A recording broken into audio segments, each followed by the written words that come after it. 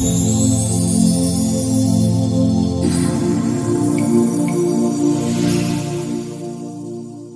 teenage girl who suddenly died after emergency crews were called to a children's home has been named. Natasha Johnston, 16, sadly passed away in the Royal Alexandra Hospital, in Paisley, on Thursday. She died only a short time after emergency crews rushed to the Roneil Children's House in the town at around 5 p.m.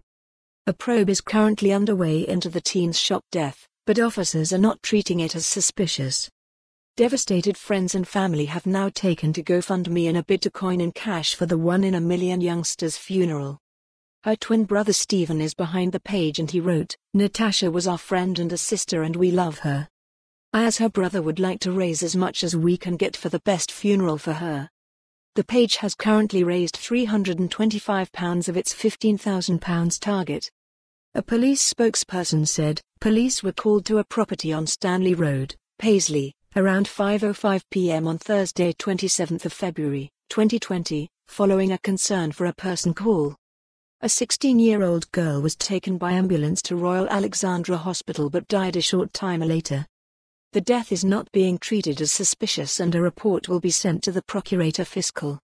Renfrewshire Council, who oversee the House, said in a statement, We are deeply saddened by the tragic news of the loss of a young person at Roneil Children's House, Paisley. Our immediate priority is to provide support to the family and our young people and staff. This is currently a police matter and we cannot make further comment at this time. We will release a formal statement in due course. To donate to the fundraiser, visit the GoFundMe page. For more on this story, visit the news article link.